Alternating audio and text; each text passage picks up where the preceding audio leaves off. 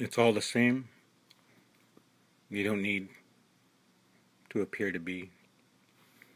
The death of God is the birth of a new life.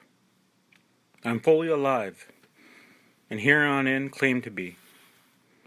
Morning moisture fills my lungs. Breath anew, running these trails aglow. I leave a part of myself each time I run, out in the dirt and cold, only to gain someone so much the better, new, bold, fascinating, and stronger. Nothing and no one will hold me down.